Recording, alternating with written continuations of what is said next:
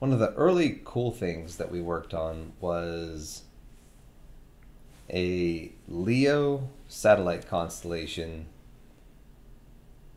LEO? lower Earth orbit satellite. Interesting. Okay.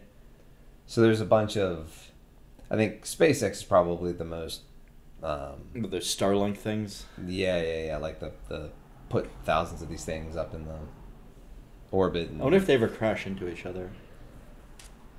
So the system that we did Yeah. for it wasn't for Starlink, it was for another company. Um, system we did was the main um, oscillator that communicated.